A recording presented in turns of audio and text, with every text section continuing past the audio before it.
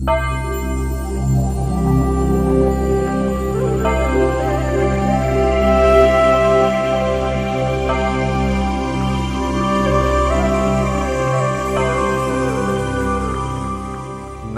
තස් භගවතු අරහතෝ සම්මා සම්බුද්දස්ස. නමෝ තස් භගවතු අරහතෝ සම්මා සම්බුද්දස්ස.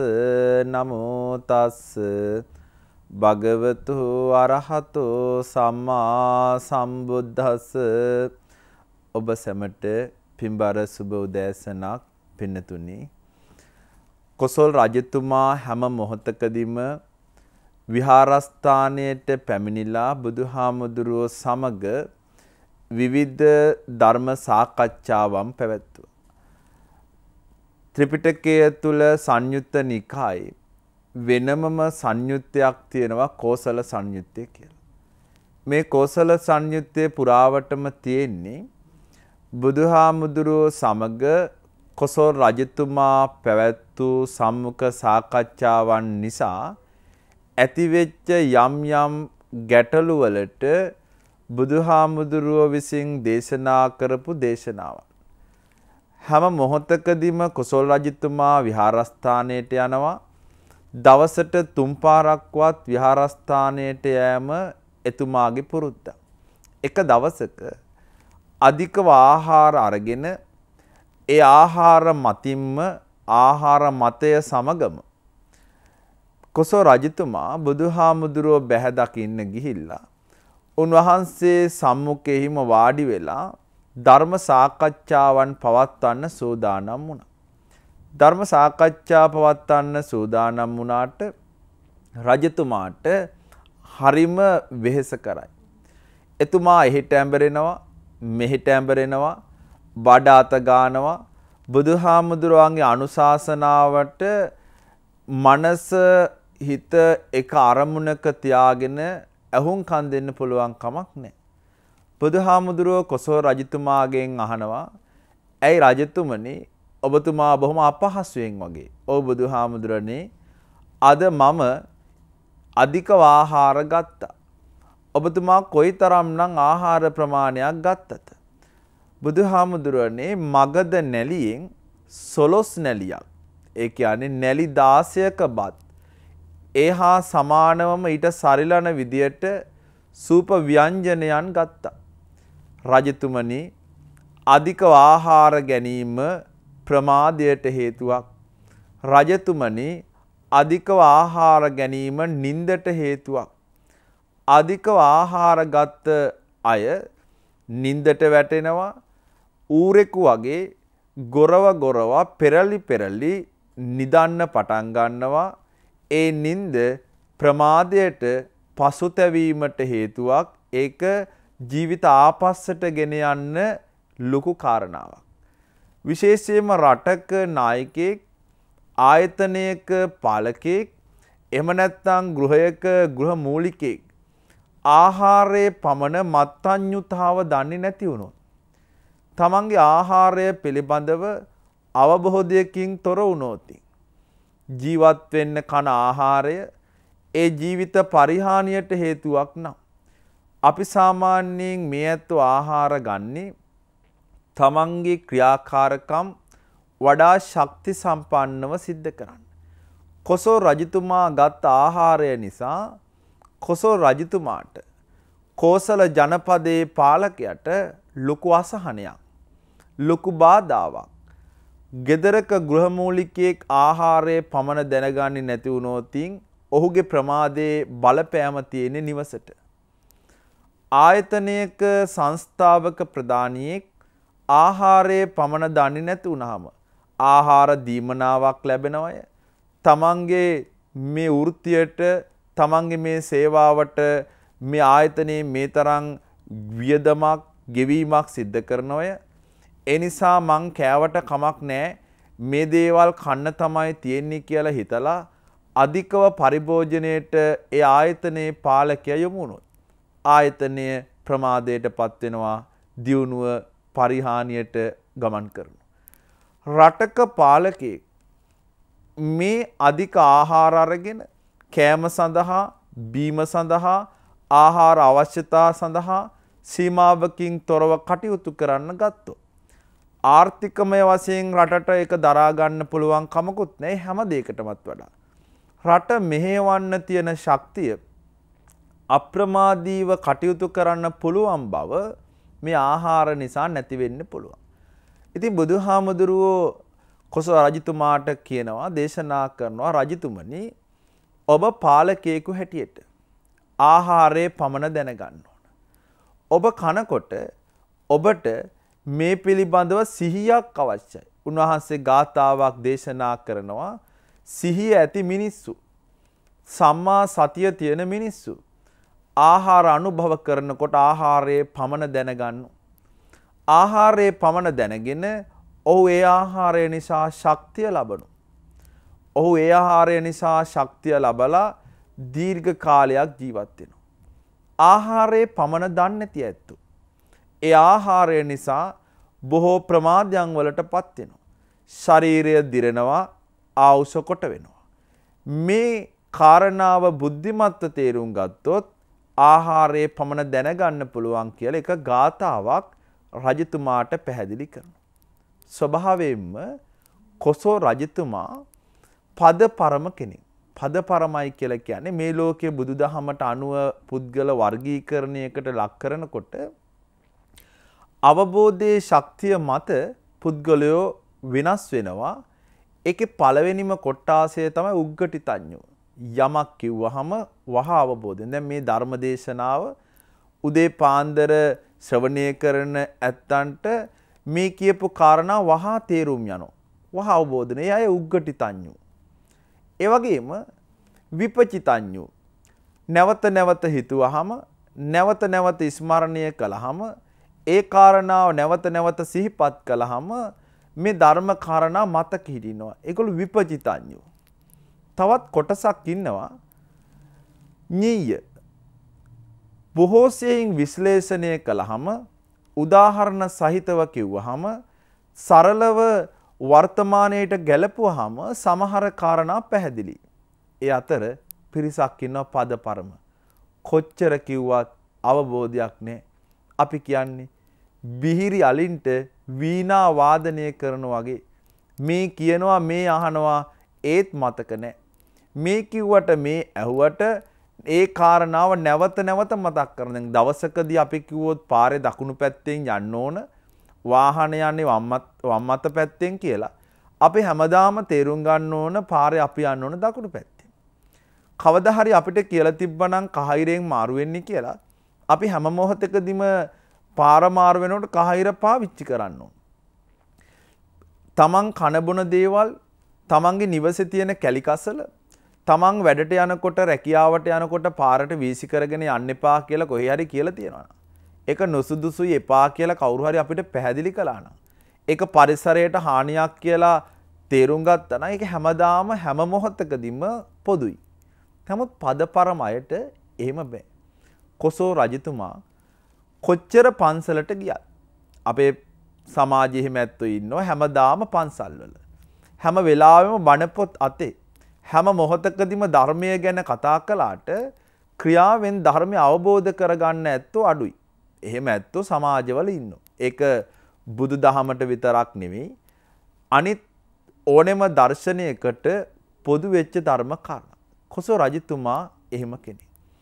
එතුමාට මේ ගාථාව බුදුහාමුදුරුව පැහැදිලි කළාට මතක හිටින්නේ නැහැ. ඒ වෙලාවේ කොසෝ රජතුමාත් එක්ක මේ මොහොතට පැමුණුණා සුදස්සන කියලා එයාගේ එක බෑන පුතුණු කෙනෙක්. එතුමාට කියනවා ඔබ මේ ගාථාව පාඩම් කරගන්න. ගාථාව පාඩම් කරලා කොසල් රජතුමා කෑම කන වෙලාවේ කොසකටතුමා ආහාර ගන්නකොට ඔබ මේ ගාථාව කියන්න. මේ ආහාර ගන්න අවස්ථාවේ අවසාන බත් කට කනකොටම ගාථාව කියන්න. මොකද්ද ගාතාව? සිහිය ඇති අය ආහාරයේ පමණ දැනගෙන ආහාර අනුභව කරනවා. ඒ නිසා ඔහු දීර්ඝායුෂ ලබනවා. ඔහුගේ ශරීරය ශක්තිමත් වෙනවා. ඔහුට වැඩ කරන්න පුළුවන් අප්‍රමාදී වෙන්න පුළුවන්. එදා ඉඳලා කොසෝ රජතුමා හැමදාම ආහාර ගන්නකොට මේ ගාථාව කියන්න මේ සුදස්සන බෑනනු පුතනුවන් කටයුතු කළා. ඒකම බුදුහාමුදුරුවෝ මේ සුදස්සනට කියනවා. අවසාන කට කන්න හදනකොටම මේ ගාථාව කිව්වාම රජතුමා අවසාන කට බිමට හෙලයි. ඒ බත් කටේ තියෙන බත් ඇට ප්‍රමාණය ඔබ ගණන් කරලා ඊළඟ දවසේ රජතුමාට කෑම උයනකොට රජතුමාට ආහාර සම්පාදනය කරනකොට අර අයින් කරපු බත් ඇට ප්‍රමාණයට සමානවම බත් හාල් ඇට ටිකක් අයින් කරන්න. හැමදාම දිනපතා ආහාර අනුභව කරනකොට සුදස්සන ගාතාව කියනවා. රජතුමා මේ හැම මොහොතකදීම බත්කට අවසාන බත්කට අයින් කරනවා. ඊළඟ දවසේ උයනකොට ඒ හා සමාන හාල්ලට ටිකක් මේ රජතුමාගේ සම්පාදනය බත සම්පාදනය කරනකොට ඉවත් කර. කාලයක් මෙහෙම ගියාම සොලොස් නැලියක් ආහාරගත්ත රජතුමා පුරුදු වෙනවා එක නැලියක් පමණ බත්කන්. දැන් මෙතුමාගේ ශරීරය බොහොම සිහින් තරබාරු නෑ ලොකු තඩි බඩක් තිබුණේ බඩ දෙන්නේ බොහොම සැහැල්ලුයි රාජ්‍ය පාලනය හොඳට කරන්න පුළුවන් කම්මැලි කමක් නෑ අලස කමක් නෑ අප්‍රමාදී බොහොම කාර්යක්ෂමයි කාර්යශූරයි රටට වාසනාවක් මෙහෙම සිහින් සිරුරක් හදාගත්ත රජතුමා බුදුහාමුදුරුව බැහැ දකින්න ගිහිල්ලා කියනවා බුදුහාමුදුරුවනේ මට බොහොම සන්තෝෂයක් තියෙනවා. මොකද දැන් මට දුවන මුවෙක් වුණත් දුවන අශ්වයෙක් වුණත් අල්ලන්න පුළුවන්. මුවෙක් අල්ලන්න අශ්වයෙක් අල්ලන්න තරම් ශක්තියක් දැන් මට තියෙනවා. ඒකම බුදුහාමුදුරේ මට තව සතුටට කාරණාවක් තමයි මට සම්බන්ධ මගේ රාජ්‍යයට සම්බන්ධ එක ගමක් තිබුණා. ඒ ගමට මම මගේ බෑනනු පුතෙක් එක්ක ගැටුමක් හදාගෙන තිබ්බේ. දැන් ඒ ගැටුම නෑ. මගේ දියණියක් ඒ බෑනනු මහත්මයාට මම විවාහ කරලා දුන්නා. ඒ ගමත් මගේ දියණියට පවරලා දුන්න නිසා මට දැන් ලොකු සතුටක්. ඒකම බුදුහාමුදුරනේ මට තියෙනවා ලොකු සතුටක්. ඒ තමයි මගේ රාජමාලිගාවේ කුස රජතුමාගේ කාලේ ඉඳලා පැවතිච්ච වටින මණිකක් තිබුණා. දැන් කාලාන්තරයක් තිස්සේ මේ මණික අතුරුදහන් වෙලා තමයි තිබුණේ. නමුත් බුදුහාමුදුරනේ මට ඒක දැන් හමු වුණා. මට ඒකත් මහා සතුටක්. ඒ හැම දෙයකටමත් වඩා ඔබ වහන්සේලාගේ විශ්වාසවන්තකම ඔබ වහන්සේලාගේ ඥාතිත්වයක් සහිත ඔබ වහන්සේගේ ඥාති දියණියක් මම විවාහ කරගෙන ඉන්නවා. මේ කාරණාවන් මට මහා ලාභයක් මට සතුටක්. අනේ මොහොතේ බුදුහාමුදුරුව දේශනා කරනවා මේ සියල්ල ලාභ තමයි. ඒ හැම ලාභයකටම වඩා වටින ලාභයක් තියෙනවා. ආරෝග්‍යා පරමාලාභා සන්තුට්ඨි පරමන්දනං විශ්වාසා පරමාඥාති නිබ්බානම් පරමං සුඛං මේ ලෝකේ භික්ෂුවකට ප්‍රත්‍ය පහසුකම් ලැබීම ලාභයක්. ගිහි ඇත්ත කෙනෙකුට ගිහි කෙනෙකුට තමන්ට ජීවිතයේ ගත කරන්න පුළුවන් සම්පත් ලැබෙනවා කියන එක ලාභයක්. භික්ෂුවකට චීවර පිණ්ඩපාත සේනාසන ගිලාන ප්‍රත්‍යක් නැතුව තමන්ගේ භික්ෂු ජීවිතය ගත කරන්න බෑ. එහෙනම් යම් වෙලාවක සිව්පස්ය භික්ෂුවකට නොඅඩුව ලැබෙනවා නම් ඒක ලාභයක්. ඒ නිසා තමයි සීවලී මහරහතන් වහන්සේ ප්‍රත්‍ය පහසුකම් ප්‍රත්‍යලාභීන් අතර අග්‍රයි කියලා බුදුහාමුදුරුවෝ දේශනා කළේ. ගිහි ජීවිතය ගත කරන ඔබට හොඳ ආර්ථිකයක් තියෙනවා, නිවාස තියෙනවා, කන්න බොන්න ආහාර තියෙනවා, අඳින්න පළඳින්න ඒ පහසුකම් ඇඳුම් පැළඳුම් තියෙනවා. මේක ලාභයක්. මේ ලාභයට අපි ධර්මයේදී කියන්නේ භව සමුදය කියලා. හොඳට කන් ඇහෙනවා, හොඳට ඇස් පේනවා, ශාරීරික ආබාධ නැහැ මානසික ආබාධ නැහැ මේවා ලාභ. මේ දේවල් මනුස්ස ජීවිතය තුළ තියෙන්නට ඕන. ඒකම මේ හැම දෙයකටමත් වඩා ලොකු ලාභයක් තියෙනවා. ඒ ලාභය තමයි ආරෝග්‍යා පරමාලාභා නිරෝගිකම පරමලාභය. සන්තුට්ටි පරමන්දනං සතුට පරම ධනයක්.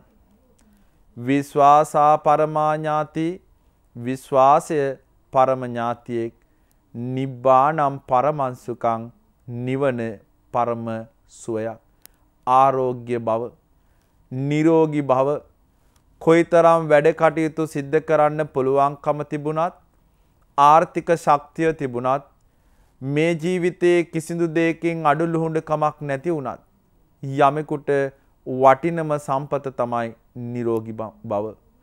කායිකව නිරෝගී වීම මානසිකව නිරෝගී වීම. කායිකව නිරෝගී වෙලා ඉන්න පුළුවන් නම් මානසිකව නිරෝගී වෙලා ඉන්න පුළුවන් නම්. කය රෝගයන් වලට භාජනය වෙන අවස්ථා මග හරව ගන්න පුළුවන් නම්. මනස රෝගයන් වලට භාජනය වෙන අවස්ථාවන් මග හරව ගන්න පුළුවන් නම්. මෙතන නිරෝගී කියලා කියන්නේ ඉඳලා හිටලා උණක් හෙම්බිරිසාවක් හැදෙනවය. කැස්සක් සෙමක් තියනවය. කිඹුහුමක් දෙකක් යනවය කියන එක නෙමෙයි. කායේ විවිධ ආබාධ අපේ කයේ විවිධ ආබාධ හැදෙන්න පුළුවන් එක සාමාන්‍යයි. මනුස්ස ජීවිතයක් වෙන්න පුළුවන් වෙන ඕනම ජීවිතයක් වෙන්න පුළුවන් ලෙඩ රෝග තියෙනවා. හැබැයි කම විපාක ජාබාධ. කර්මයට හැදෙන ලෙඩ අපිට නැත්තම්. කර්ම රෝග අපේ ජීවිත තුළට බලපෑම් කරන්නේ නැත්තම්. කර්මය නිසා මේ ලෙඩ රෝග අපිට අයහපත පිණිස පවතින්නේ නැත්තම් ඒක තමයි ආරෝග්‍යා පරමාලාභා නිරෝගීකම පරමලාභයක්. සන්තුට්ටි පරමන් ධන. සතුට පරම ධනය. අත වෙහෙස්වල වැඩ කළත්, කට වෙහෙස්වල වැඩ කළත්, වෙන ඕනම ඉන්ද්‍රිය වෙහෙස්වල වැඩ කළත්, උදෑ උදෑසන නැකිටිනකොට, රැට නින්දට යනකොට, කනබොන ආහාර අඳින පළඳින ඇඳුම් නිසා අපිට තියෙන සතුටක් නම් මානසික ප්‍රබෝධයක් නම් සොම්නසක් නම් ඒක මේ ලෝකේ වටින ධනයක්. මුදල් තියෙන ධනවන්තකම් තියෙන බලවන්තකම් තියෙන යාන වාහන තියෙන අතට පයට සේවක සේවිකාවන් ඉන්න හැමෝටම මේ මානසික යහපත් භාවය නැහැ. මේ ජීවිතයේ පුරාවට මානසික යහපත් භාවය නිර්මාණය වෙනවා නම් ඒක මහා ලාභයක්. මේ ජීවිතයේ අපි කල්පනා කරන්නට ඕන, මෙයත් හිතන්නට ඕන. මේ සතුට නැති වෙන්න බලපාන හේතු මොනවද? සතුට නැති වෙන්න බලපාන්නේ අධික තෘෂ්ණාව, ආශාව, මේ ජීවිතයේ සම්තෘප්තියක් නැතිකම, අසහනය, අසහනකාරී බව. මේ ජීවිතයේ සම්තෘප්තියක් තියෙනවා නම් මේ ජීවිතය තුළ ලැබිච්ච දේවල් පිළිබඳව සතුටක් තියෙනවා නම් ඒක තමයි යහපත් කොට අපි සලකන්නේ. ආත්ත දණ්ඩ සූත්‍රයේදී බුදුහාමුදුරුව දේශනා කරනවා මේ ජීවිතයේ පුරාවට කෙනෙකුට අසහනය සතුට නැති වෙන අසහනය ඇති වෙලා සතුට නැති වෙනම කාරණයක් තමයි තෘෂ්ණාව මේ තමන්ට ලැබෙන දේවල් මදිය තව දේවල් එකතු කරගත යුතුය කියලා කල්පනා කරන බව. පන්ද මානම් පජන් දිස්සා මච්චි අප්පෝදකී යත. අඤ්ඤ මඤ්ඤේහි ව්‍යාරෝද්දේ දිස්වාමම් බය මාවිසි මහණෙනි මිනිස්සුන්ගේ මේ ස්වභාවය දැකලා මට සංසාර ජීවිතය පිළිබඳව කලකිරීමක් ඇති වුණා. මේක දිගට දුවනවා යන්ත්‍ර වගේ විඳින්න තියෙන ජීවිතයේ විඳවමින් අසහනයෙන් කොයි වෙලාවකවත් තෘප්තියක් නැතුව අනේකා පරයමින් අනේකා සමග ගැටෙමින් කටයුතු කරන බව මට දකින්න ලැබුණා. දකින්න ලැබිලා මට සංසාර ජීවිතේ කලකිරුණා. බුදුහාමුදුරුවෝ සංසාර ජීවිතේ එහෙම කලකිරව ගන්නේ උන්වහන්සේ එහෙම අසහනයට පත් වෙලා නෙමෙයි. මේ ලෝකේ භෞතික ජයග්‍රහණ හොයන ඇත්තෝ ඒ භෞතික ජයග්‍රහණ කොහොම හරි ලබන්න ඕන කියලා කල්පනා කරලා. ඒ වෙනුවෙන් උපාය යොදනවා උපක්‍රම යොදනවා වචන නරක විදියට අයහපත් විදියට යොදවනවා ක්‍රියාවන් අයහපත් විදියට යොදවනවා. උන්වහන්සේක උපමා කළේ වතුර මද වලක ඉන්න මාළු. හැම මොහොතෙදිම කල්පනා කරන්නේ අර සීමිත වතුර ටික ඇතුලේ කොහොමද තමන්ගේ පණ රැකගන්නේ කියලා. සීමිත වතුර ටික ඇතුලේ පණ රැකගන්නේ කොහොමද කියලා බලන්නයි ඒ ඇත්තෝ හැම මොහොතකදීම දඟලන්නේ. කොරපොතු කඩාගන්නේ, වරල් කඩාගන්නේ, ශරීරය තුවාල කරගන්නේ සීමිත වතුර ටික ඇතුලේ තමන්ගේ පණ රැක ගන්න. මේ ලෝකේ සමහර ඇත්තෝ සීමිත සම්පත් තමන්ගේ අසීමිත ආශාවන් සහිත බව නිසා බෙදා ගන්න ගිහිල්ලා මේ සතුට කියන කාරණාව නැති කරගන්න.